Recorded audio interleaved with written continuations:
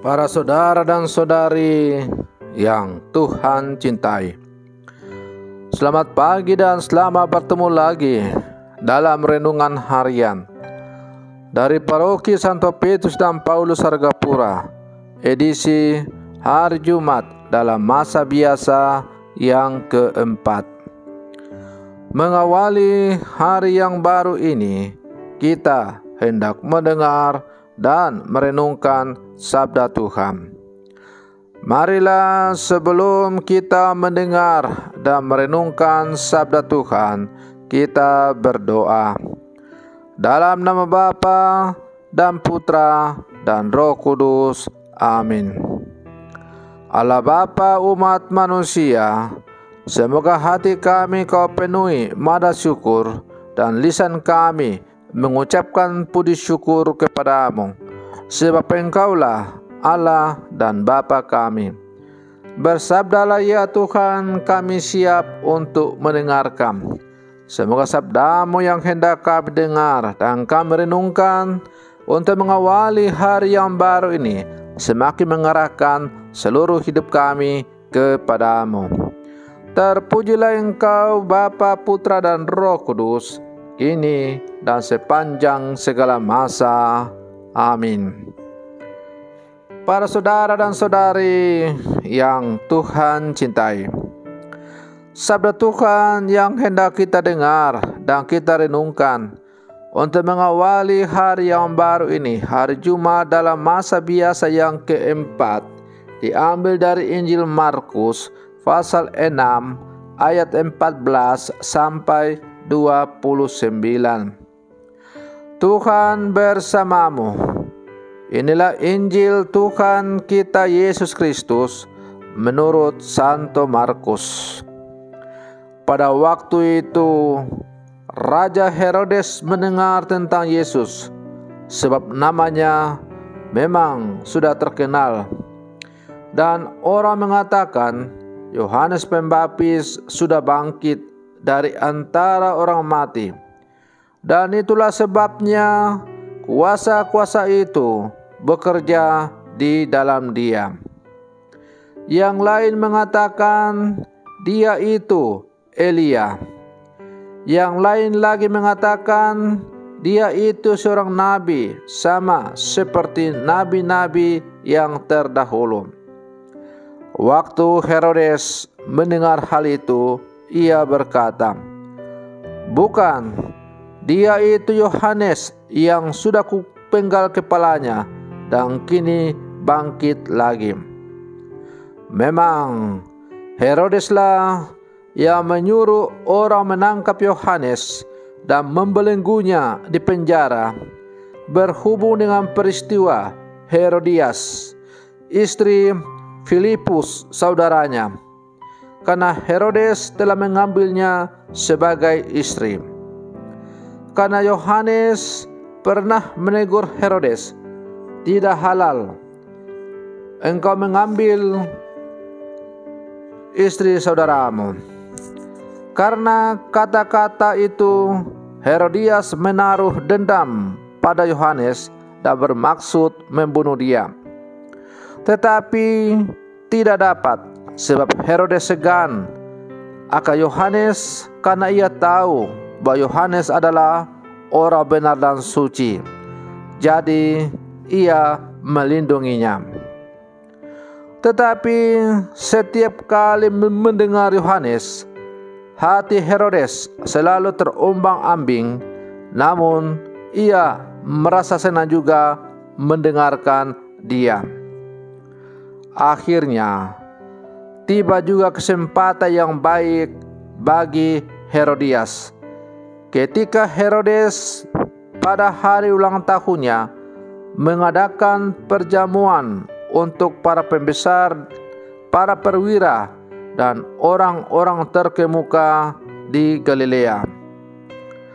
Pada waktu itu, putri Herodias tampil lalu menari, dan ia menyukakan hati Herodes serta tamu-tamunya. Maka Raja Herodes berkata kepada gadis itu, Mintalah daripada aku apa saja yang kau ingini, maka akan kuberikan kepadamu.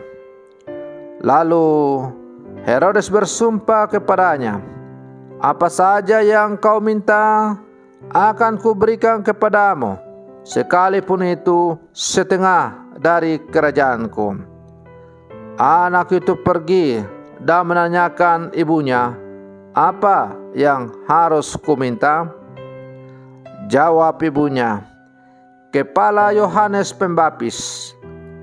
Maka cepat-cepat ia pergi kepada raja dan meminta, Aku mau supaya sekarang juga engkau berikan kepadaku kepala Yohanes Pembaptis dalam sebuah talam.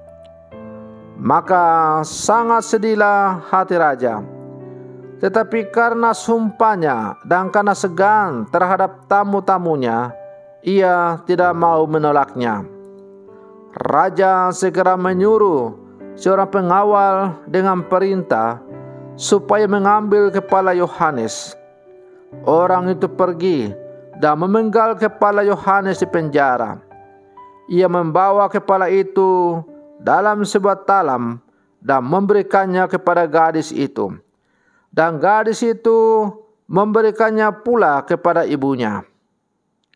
Ketika murid-murid Yohanes mendengar hal itu, mereka datang dan mengambil mayatnya, lalu membaringkannya dalam kubur. Demikianlah sabda Tuhan. Para saudara dan saudari yang Tuhan cintai iman perlu dihayati dalam keseharian, dalam tindakan-tindakan sederhana yang kita lakukan setiap hari. Salah satu cara yang dilakukan untuk menghayati iman adalah dengan memelihara kasih persaudaraan. Kita memperlakukan orang lain sebagaimana kita ingin diperlakukan dalam kasih persaudaraan, kita tidak lekas menghakimi yang melakukan kesalahan, tetapi tulus memberikan teguran dan pengampunan. Para saudara dan saudari yang Tuhan cintai, Herodes dalam kisah Injil hari ini kehilangan kasih persaudaraan di dalam hatinya. Ia bahkan tega mengambil Herodias, istri saudaranya. Herodes kemudian memenjarakan Yohanes sebab ia menegur tindakannya itu dan menganggapnya tidak halal. Pada akhirnya Yohanes dibunuh atas perintah Herodes. Maka dari kisah ini, kita dapat mengambil dua inspirasi yang bisa kita renungkan dan kita hayati dalam perjalanan hidup kita sebagai orang-orang beriman. Pertama, dalam pertama dalam pengalaman Herodes, kita menemukan kecenderungan umum manusia yang menghalalkan segala cara untuk mendapatkan apa yang diinginkan. Maka sebagai murid-murid Yesus, kita diajak untuk tidak meniru apa yang dipraktekkan oleh Herodes ini. Yang kedua, bahwa kasih persaudaraan sejati tidak pernah berarti tanpa kritik dan teguran. Yohanes berani mengkritik dan menegur Herodes bukan karena ia membencinya, tetapi karena ia menyayangi, mencintai Herodes, karena Herodes jalan telah jalan di jalan yang sesat. Oleh karena itu, ada pepatah yang mengatakan bahwa sahabat yang baik bukanlah sahabat yang setiap hari memuji-muji, tetapi seorang sahabat sejati adalah seorang sahabat yang tahu kapan memuji dan kapan bisa menegur kalau sahabatnya itu berjalan di jalan yang salah. Nah, para saudara dan saudari yang Tuhan cintai, maka kritik adalah ungkapan kasih dan persaudaraan dari orang atau sama kita yang mau mengajak kita untuk merenungkan, melihat diri kita agar kita bisa untuk kembali ke jalan yang benar sekiranya kita telah berjalan salah. Para saudara dan saudari yang Tuhan cintai.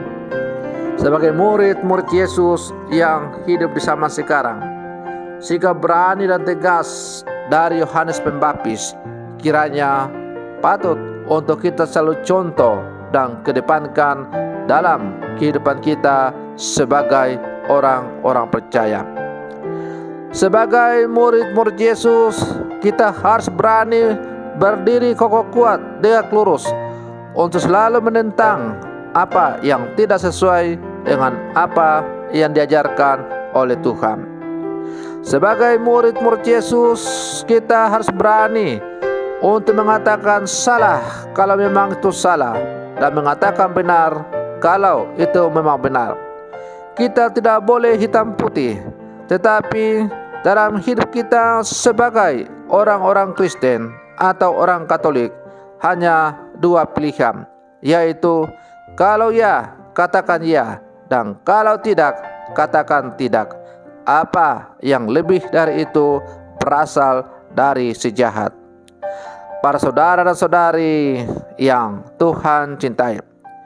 Sebagai murid-murid Yesus yang hidup sekarang, kita diajak untuk selalu berdiri di tengah-tengah untuk selalu memperjuangkan kejujuran, persaudaraan, dan kesucian dalam seluruh kehidupan kita.